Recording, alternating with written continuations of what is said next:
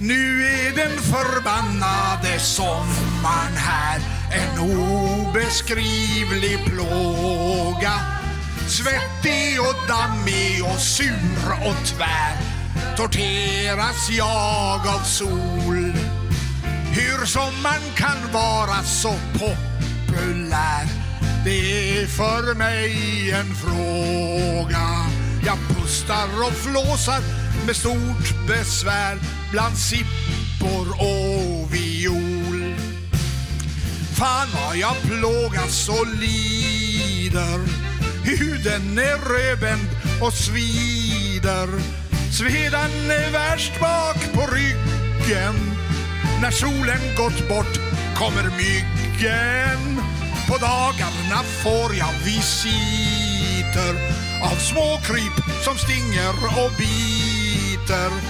Spyflugor, humlor och bromsar och myror och getingar. Törsten är olidlig, ölet gömt och maten står och surnar. Sommaren som skalderna jämt berömt får gärna bli till höst.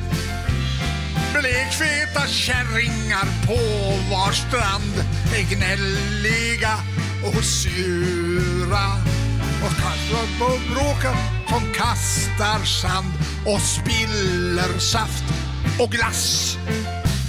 Vi badar i avloppsbrunt vatten får maskrosor ut i rabatten. Luften det stinker av kära vad mer kan Karl Alton begära?